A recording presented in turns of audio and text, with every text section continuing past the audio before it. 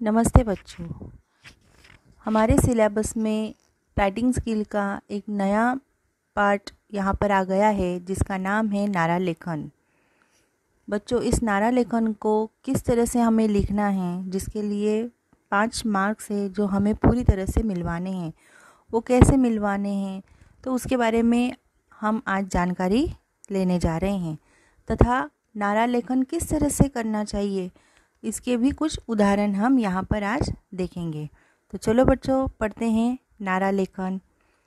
नारा लेखन यानी राजनैतिक, धार्मिक, सामाजिक, ऐतिहासिक, शैक्षणिक, व्यावसायिक आदि संदर्भों में किसी विचार या उद्देश्य की बारंबार अभिव्यक्त करने के लिए प्रयुक्त एक यादगार आदर्श वाक्य या सूक्ति हैं। बच्चों नारा का पर्यायवाची शब्द है आवाज़, शोर अथवा सामूहिक आवाज़। इसी तौर पर हमारे नारा लेखन का दूसरा एक व्याख्या इस तरह से बन जाती है, उसका अर्थ इस तरह से बन जाता है, किसी मांग की ओर, किसी मांग की ओर ध्यान दिलाने या प्रसन्नता और उत्साह व्यक्त करने के लिए बार बार बुलंद की जाने वाली सामूहिक आवाज़, यानी नारा लेखन। तो बच्चों, हम आगे देखते हैं।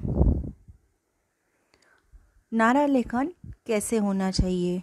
ये सबसे महत्वपूर्ण बात है और आपको ये ध्यान में रखनी है। और इन बातों को अगर आपने ध्यान से पूरा किया तो आपका नारा लेखन बहुत ही अच्छे मार्क्स आपको दिलवा सकता है। तो सबसे पहली बात है, नारा लेखन के लिए सरल, सहज शब्दों का प्रयोग होना चाहिए। आकर्षकता लाने के लिए लय और तुकांत, यानी राइमिंग वर्ड्स का प्रयोग आपको यहाँ पर करना है। आवश्यकतानुसार चित्र निकालकर उसे रंगों द्वारा आकर्षक बनाएँ। यानी जिस तरह से हम विज्ञापन करते थे, विज्ञापन में हम कलर नहीं देते थे, लेकिन यहाँ पर आपको रंगीन पेंसिल से भी आपने उस चित्र को कलर यानी रंग दिए, उसमें रंग भरे तो उसकी आकर्षकता और भी आप बढ़ा सकते हैं। बच्चों, नारा लेखन यह दो या दो से अधिक पंक्तियों में भी लिखा जाता है। कभी कभी एक पंक्ति का भी होता है। ध्यान में रखना है उत्व दिया जाता है। नारा लेखन की सबसे महत्वपूर्ण विशेषता यही है कि यह एक या दो पंक्तियों में लिखे जाते हैं। तो यहाँ तक आप बच्चों अच्छी तरह से जान गए होंगे कि नारा लेखन क्या है तथा नारा लेखन किस कौन कौन से विषयों पर लिखे जा सकते हैं, उसकी विशेषता और उसे कैसे लिखने चाहिए, उसकी महत्वपूर्ण बातें। अब हम देखते हैं नारा लेखन के कुछ उदाहरण। ये पहला उदाहरण यहाँ पर इस तरह से शिक्षा का शिक्षा के ऊपर। संसार में सबकी बस एक चाह। संसार में सबकी बस एक चाह, रोटी, कपड़ा और मकान। पर शिक्षा से ही बनता मानव सबसे महान।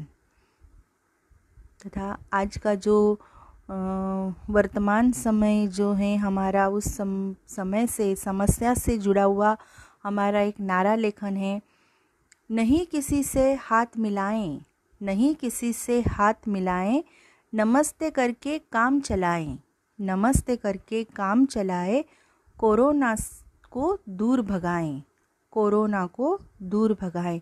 तो इस तरह से आप चित्र निकाल कर नारा लेखन कर सकते हैं। जैसे कि हमने देखा कि नारा लेखन एक पंक्ति का या दो पंक्ति का भी होता है। बस बच्चों, इतना सा लिखने के लिए आपने उसे अच्छी तरह से आपकी क्रिएटिविटी के आधार पर उसे लिखा तो आप उसे अच्छी तरह से फाइव मार्क्स मिला सकते हैं। आगे बढ़ते हैं। हमारा उसी तरह से कोरोना के ऊपर ही है। सुनो मेरे भाई, सुनो मेरे प्यारे।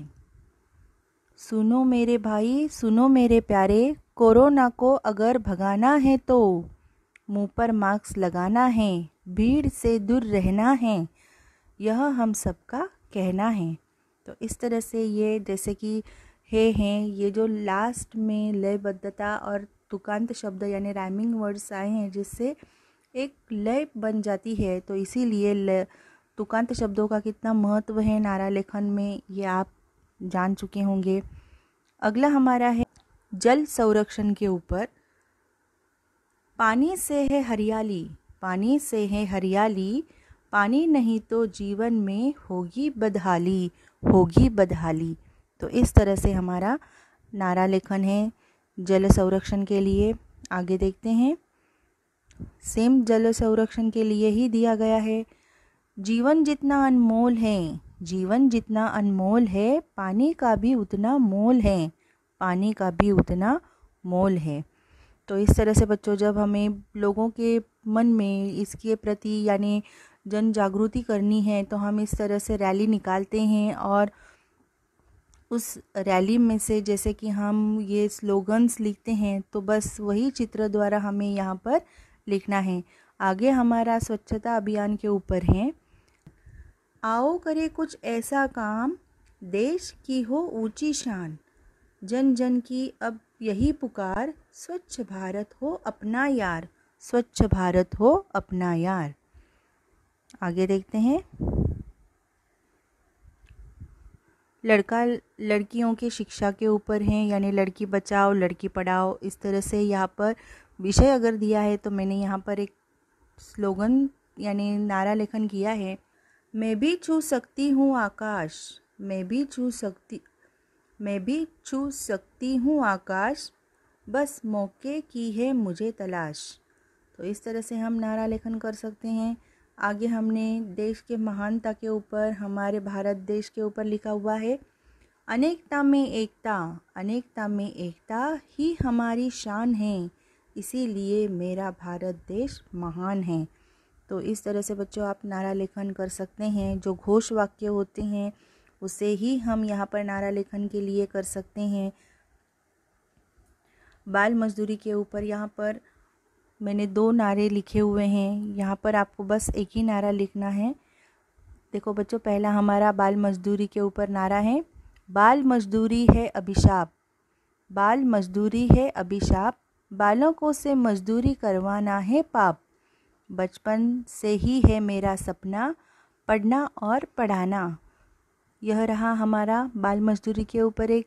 आप दूसरा स्लोगन भी हम इस तरह से लिख सकते हैं। अभी तो हमको करनी है पढ़ाई। अभी तो हमको करनी है पढ़ाई। मत करवाओ हमसे कसरत और कमाई। कसरत और कमाई। तो बच्चों इस तरह से हमारे स्लोगन्स यानी नारा लेखन के उदाहरण हैं। ऐतिहासिक पर अगर आप देख सकते हैं कि जिस तरह से हमें नेताजी ने कहा था कि तुम मुझे खून दो, मैं तुम्हें आज़ादी दूँगा ये भी तो एक नारा लेखन ही है ऐतिहासिक। जिस तरह से अगर रक्तदान हो तो रक्तदान अगर विषय दिया गया है तो आप इस तरह से लिख सकते हैं कि रक्तदान ही जीवनदान है, महान दान है। इस तरह से हम लिख कर लिख सकते हैं। जैसे कि हम ऐतिहासिक में से दो कि साइमन गो बैक, यानी साइमन वापस जाओ। तो इस तरह से जो घोष वाक्य हैं, यानी उसे ही नारा लेखन कहते हैं, एक पंक्ति का भी हो सकता है। बस बच्चों, आपको जो जिस तरह से आता है, आप अपने मन से, अपने शब्दों से उसे लिखने का प्रयास ज़रूर करना। यही यहाँ पर आपकी क्रिएटिविटी देखने के लिए यह नारा लेखन परिस्थिति के अनुसार यहाँ पर थोड़ा सा बदलाव सी बी एस ई ने किया हुआ है और आपके सिलेबस में यह नारा लेखन राइटिंग स्किल के लिए दिया गया है। तो बच्चों, इन सभी जानकारी के, जानकारी से आप ज़रूर समझ गए होंगे कि नारा लेखन इतना कठिन नहीं है। आप उसे बहुत अच्छी तरह से करोगे। यही आशा करती हूँ और हम यहीं पर रुकते हैं। धन्यवाद।